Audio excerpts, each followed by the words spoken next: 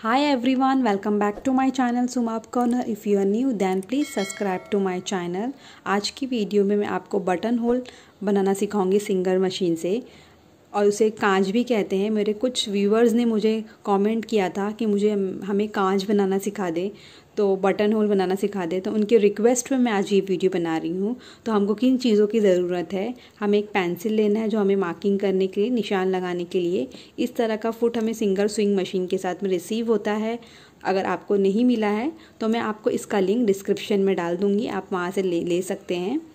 इस तरह का। और हमें ये थ्रेड ओपनर जो इस तरह का हमें मशीन के साथ रिसीव होता है। ये चाहिए हमें बटन एक बड़े बटन है, एक छोटा बटन है। मैं आपको दोनों दोनों बटन को कर कर बताऊँगी। और थ्रेड अरे फैब्रिक सॉरी फैब्रिक हमें लेना है। हमें हमें जो फैब्रिक में करना है, हमें उस, वो वो फैब्रिक ले लेना है। चलिए वीडियो शुरू करते हैं। हम देख लेंगे हमें पैटर्न सेलेक्टर को टेंशन पे किस पे रखना है। तो हमें टेंशन को थ्री और फोर के बीच में रखना है। ये आप देख सकते हो। फोकस। हाँ थ्री और फोर के बीच में हमें ये टेंशन को रखना है। आपकी मशीन में जहाँ पे भी टेंशन होगा, आपको थ्री और फोर पे रखना है।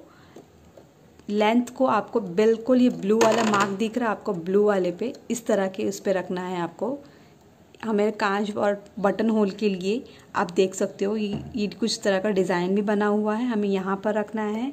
और आप देख सकते हो हमारी मशीन में ये फ़र्स्ट सेकेंड हमें एक पहले फ़र्स्ट यहाँ पे करना है सेकेंड इस तरह से यहाँ करना है और फिर थर्ड पे रखना है। मैं आपको करते करते बताती हूँ और फोर्थ यहाँ पे रखना है। मैं आपको करते हुए इस तरह से बताती हूँ कि हमें इस तरह से हमें पैटर्न को एडजस्ट करना है करते वक्त। इस तरह से हमें जहाँ पर भी हमें कपड़े में करना है, इस तरह से हम कपड़े को रखेंगे और यहाँ पे बटन की साइज़ हम जैसे हमें यहाँ करना है तो हम एक निशान इस तरह से इधर लगाएँगे और एक इधर लगाएँगे।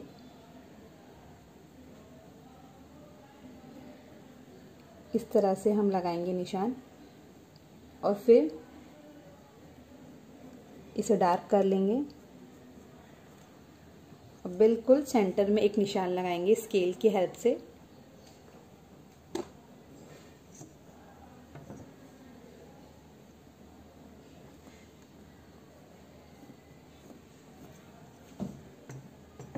फिर हम इसी तरह से दूसरे का भी लगा लेंगे। एक निशान हमें यहाँ लगाना है और दूसरा, आप कपड़े में करें तो थोड़ा फिनिशिंग से करें। ये तो मैं आपको रफली ऐसे ही बता रही हूँ। और फिर सेंटर में बीच में ऐसा रख कर ऐसे लगा लेंगे।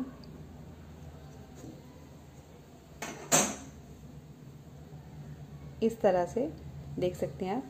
प्रॉपर हमारे बटन का ऐसा हो गया चलिए अब हम इसे आपको मशीन से करके बताते हैं। इस तरह से हमें हमारी मशीन में आप देख सकते हो, ये फुट लगा है, जो जिगजैग फुट होता है। हमें यहाँ पे एक साइड में, पीछे साइड हम देख सकते हो, यहाँ पर इसे, ऐसे ये हमें ऊपर लेफ़्ट करना, उठाना है। फिर इसको हल्का से प्रेस करना है, जो फुट यहाँ से निकल जाता है ये वाला।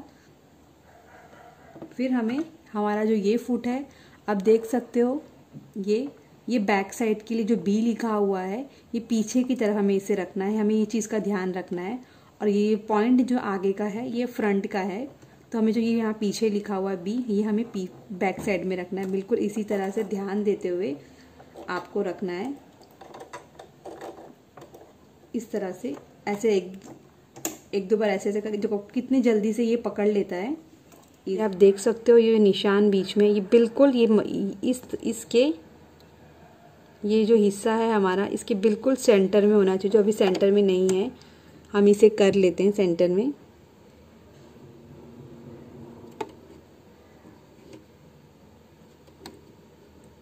ये देखते, देख सकते हो आप, जो अभी बिल्कुल सेंटर में आ गया है, फिर ये हमारे निशान को हमें ध्यान में रखते हुए इसे आगे करना है ऐसा।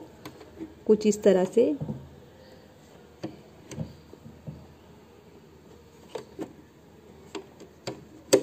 फुट को बिल्कुल ऐसे पीछे करना है और इसको रखना है।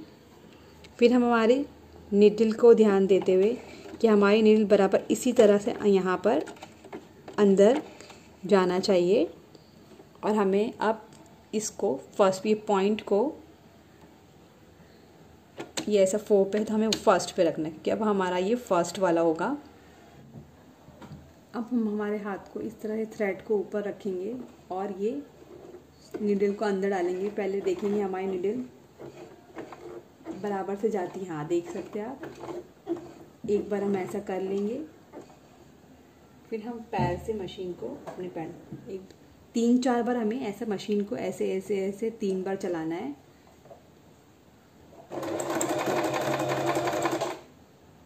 अब हम, आप देख सकते हो, हम यहाँ से इसे सेकंड पे कर लेंगे।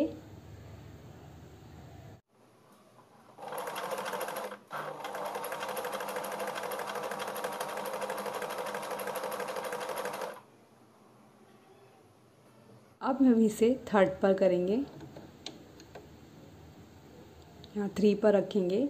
फिर इस तरह से, अब हम यहाँ पर थ्री पर रख कर हमारा यहाँ फ़र्स्ट और ये सेकेंड और ये थर्ड हमारा यहाँ पर हो जाएगा। हमारा थर्ड भी हो गया है। अब हम फोर्थ पर कर लेंगे। फोर पर करेंगे। इस तरह से यहाँ पर, अब फोर यहाँ पर होगा। एक बार सुई को यहाँ से इस तरफ़ कर लेंगे। नीडल हमारी यहाँ पर हो गई। अब हम सिलाई शुरू करेंगे।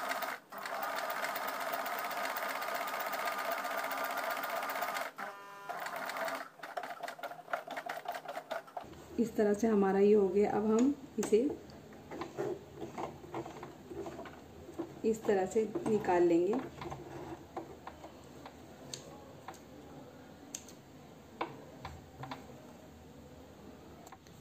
इस तरह से देख सकते हैं मैंने कपड़े में। एक आपको मैंने करके दिखाया और इस तरह से मैंने तीन चार किए हैं। कुछ बड़े, कुछ छोटे, ये काफ़ी, ये इससे बड़ा है। अब हमें इसे बीच में कट कैसे करना है मैं आपको बताती हूँ। इस तरह से एक पिन लगाना है हमें। ये हमारा जो आता है थ्रेड ओपनर खोलने वाला। हमें इसको इस तरह से यहाँ डालना है और फिर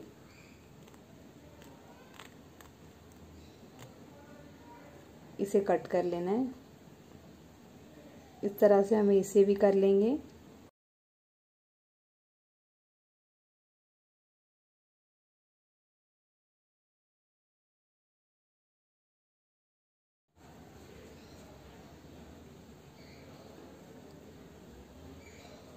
इजीली यहाँ से वहाँ हो जाएगा।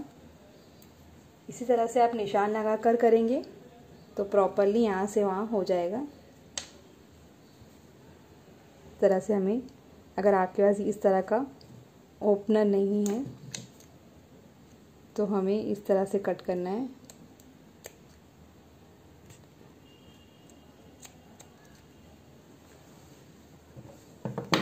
बिल्कुल केयरफुली करना है।